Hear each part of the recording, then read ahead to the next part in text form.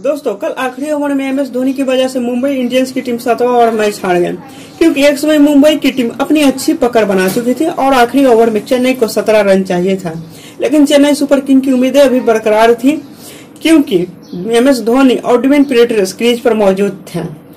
धोनी ने जब आखिरी ओवर में तीसरी गेंद पर छक्का मारा, तब मुंबई इंडियंस के खिलाड़ियों के चेहरे देखने लायक थे और कप्तान रोहित शर्मा भी काफ़ी परेशान दिखने को मिले।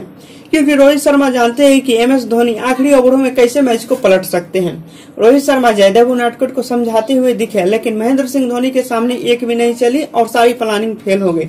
और एम धोनी ने आखिरी गेंद पर चौका मारकर मैच को जीत दिलाए